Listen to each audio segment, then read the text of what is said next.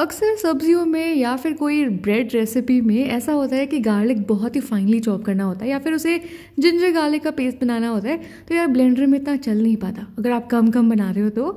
तो मैंने मंगाया ये, इसको हाथ में भी पहन सकते हैं और देखते हैं कि क्या ये मेरी उम्मीदों पर खड़ा उतरता है कि नहीं, या फिर ऐसे ही मेरे आँसू बहते रहेंगे। तो मैंने यहाँ पे ले लिया है ऑडी का इको बेग क्योंकि मैं नहीं चाहती यार कि ये डो चिपक जाए। तो डो बनाने के बाद ना, मैंने लगा दी है तंदूरी में अब बारी आ चुकी की है कि चेक किया जाए कि गार्लिक सच में अपना कमाल दिखा पाते हैं कि नहीं। और आप देख रहे हो यार, कितना अच्छे से ये मैश हो गए हैं।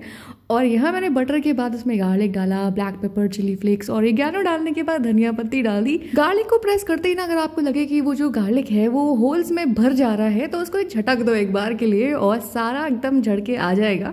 और बस, बहुत मज़ेदार चीज़ है तो आप भी खाओ, पियो, मज़े करो और खुश रहो। मैं तो चली खाने।